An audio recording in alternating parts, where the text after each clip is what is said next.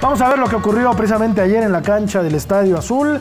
Una muy buena entrada en este estadio añejo de mucha tradición, donde, por cierto, se ve muy bien el fútbol desde donde te sientes, ¿eh? en cualquier lugar. Un buen partido de fútbol.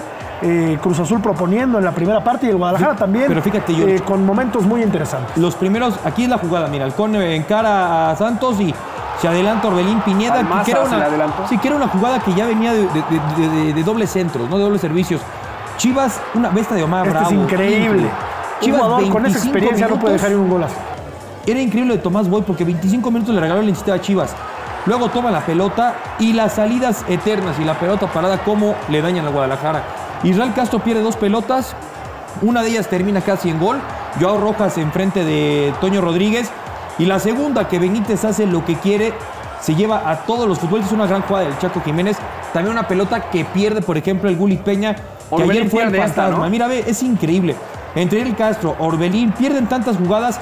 Así fue contra Veracruz. Digo, que después Benítez, el Benítez es paraguayo, muy haga- bueno, ¿no?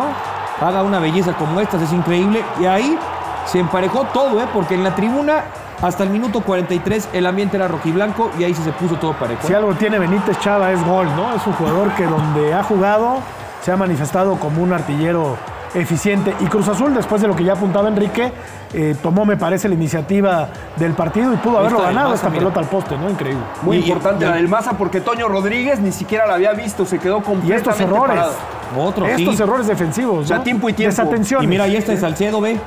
¿Para dónde? Uf, Alisson, Alisson. ¿no? Que La tajada, Gran la jugada del partido. Con Corona en la banca, ¿eh? gran partido, ¿eh? Ayer en el azul.